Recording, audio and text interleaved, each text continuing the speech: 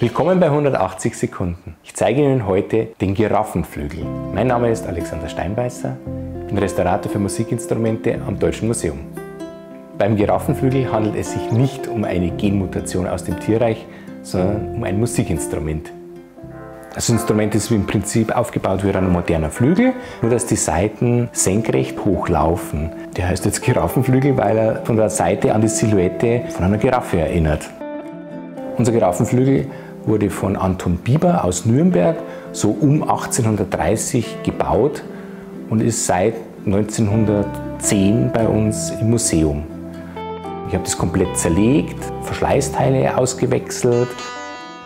Zum Beispiel wurden die Scharniere des Deckels erneuert, weil die restlichen Fragmente, die da sind, die können den Deckel gar nicht mehr so richtig halten. Und nachdem das ganz interessante Originalteile aus der Zeit um 1830 sind, haben uns entschlossen, dass wir die kopieren und neu anfertigen.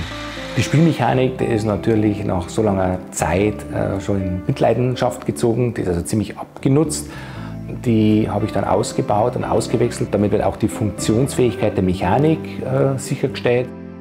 Also die Stellen, wo dann das, ein Stück Furnier fehlt, das wurde dann abfotografiert und dann die Kontur am Computer nachgezeichnet. Bei dem Instrument sind wir jetzt so vorgegangen, dass wir das passende Holz ausgesucht haben. In dem Fall ist es Nussbaum.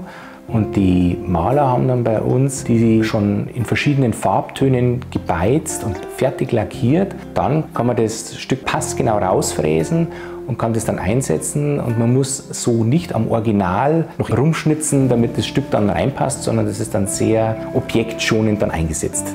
Eingeklebt wurde es dann mit Knochenleim. Das ist auch das originale Material, was damals die Instrumentenbauer zur Verfügung hatten. Unser Giraffenflügel hat sechs Pedale. Das war zu der Zeit durchaus üblich. Also es gibt die Verschiebung der Klaviatur wie beim modernen Flügel. Dann gibt es das Tonhaltepedal oder die Dämpfung aufgehoben. Die Töne können alle nachklingen. Und zusätzlich gibt es dann noch einen sogenannten Moderator. Das verändert den Klang, das wird dann ein bisschen leiser. Dann gibt es noch einen sogenannten Fagottzug. Da wird eine Papierrolle an die Seiten gedrückt und das erzeugt dann so ein bisschen einen schnarrenden Ton. Dann gibt es noch eine Pauke. Da wird ein Paukenschläge an den Resonanzboden geschlagen. Und dann gibt es noch eine Glocke, so ein Pling-Glöckchen. Der Paukenschlägel, der war schon so kaputt, da haben sie entschlossen, dass man den einfach komplett neu macht, nach, nach dem original alten Vorbild. Der Giraffenflügel wird dann in der neuen Ausstellung Musikinstrumente, die Ende 2021 eröffnet wird, ausgestellt und kann dann da auch bei einer Führung gehört werden.